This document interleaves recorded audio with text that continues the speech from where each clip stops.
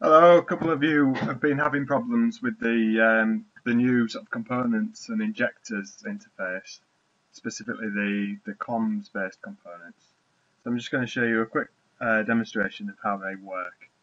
I'm going to go uh, File and New, uh, New Project. Uh, device doesn't really matter, but at the moment um, I'm going to choose a 877A. So we're going to add a comms based component. We're going to use the RS232 for now. It's quite a popular component. You notice that the, the data scope window always appears in 6.0.7. Uh, we'll shortly be releasing 6.0.8 which fixes this. I know it's quite annoying.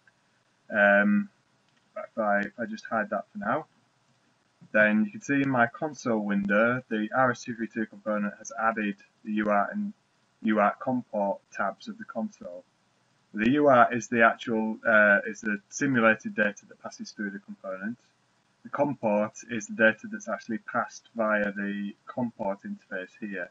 So where you see data source, if you've got comport selected, then it gives you a list of comports on the PC that you can connect to. Uh, you can see that I don't actually have any comport hardware plugged in at the moment, uh, so it's not bringing anything up in that list.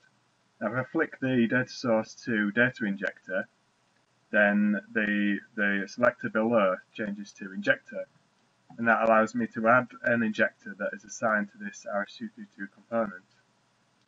So in the search menu, uh, I've got, if I type in injector, then it brings up all the injectors. If I, if I take away the search, then it gives you absolutely all of the components, even all the hidden components that are in the major categories.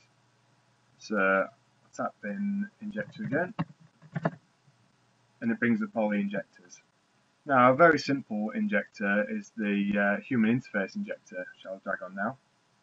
And this allows you to type in values similar to how you could type values into the transmit queue in uh, Flowcode 5 and, and before. Sorry, the receive queue, not the transmit queue. Um, so with the with the human interface injector added onto the panel, I can select the RS232 component, and then under the injector drop down, it'll give me the injectors that are on the console, so I can I can select one from the list. So I've only got the I've only got the human interface injector on the panel, so that's all it's given me in the list. So I can select that. And then when I select it, it gives me a few options, which buffer size and data mode, but we don't really have to worry too much about that for now. So I'll create my program as I would normally. So RS232 initialize, and then we'll have a loop. Inside that loop, we will try and receive a character with a timeout of say 10, 10 milliseconds. Uh, the return value we're going to store in a variable, so I'll just create an Rx variable. And then we need somewhere to display this. So if I say outputs LCD and drag that on, so I just need to initialize the LCD, LCD start, uh, and then if Rx is less than 255, i.e. we haven't had a timeout, then we're just going to print that character to the LCD.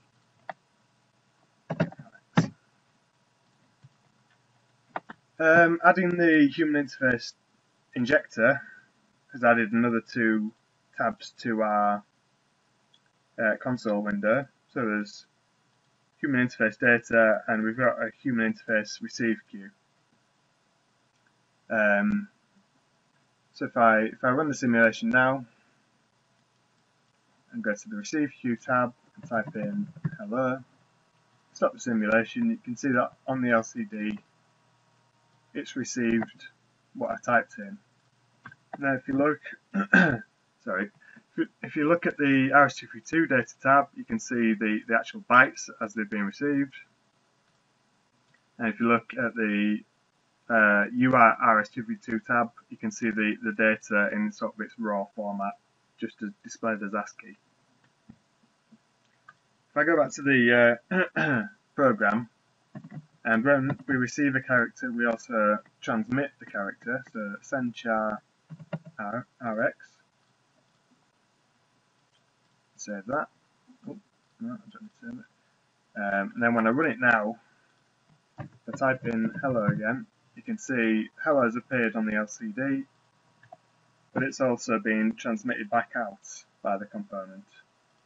Uh, so you can kind of see that here and here. Um, say we wanted to display two tabs at once, you can right click and select new tab group and this allows you to see multiple tabs at once in the same window. Uh, a quick going over some of the other uh, injectors that are available at the moment. There's a comport injector which allows you to talk via a comport on, on your PC. This is very similar to the RS-232 uh, data source comport. In fact, it's the same, um, but it's it's for components that have the injector interface but don't have a specific comport option. Uh, you've also got the uh, file injector. This allows you to read data from a file and also write data to a file. Um, so there's two files, incoming and outgoing, um, which you can use uh, to provide fixed data for your application where you don't want to have to keep typing it in. The VNet injector allows uh, two um, instances of Flowcode to talk to each other via the comms components or even across the network. Um, and this replaces the VNet uh, functionality in version 5. You've got GPS injector, which just injects basic GPS messages.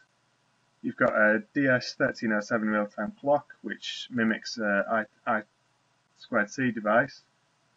Uh, you've got CAN injector, which is used to try and decode uh, CAN identifiers. Uh, it's pretty simple at the moment, but it does quite a nice job. And you've got the AT injector, which basically takes, uh, it behaves like an AT modem, where if you send it um, a command begins with the letters AT, uh, and then uh, send the carriage return character, then the component, the, the injector will automatically reply with your command uh, plus the characters OK as a, as a standard AT modem would.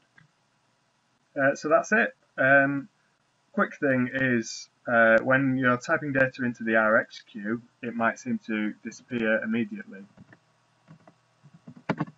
As you can see, what I've typed hasn't appeared. So if I pause the simulation and then type uh, say OK, you can see that the characters have gone in. And then if I if I step through my program, they they sort of disappear one at a time as they're pulled in by the component. So thank you very much and goodbye.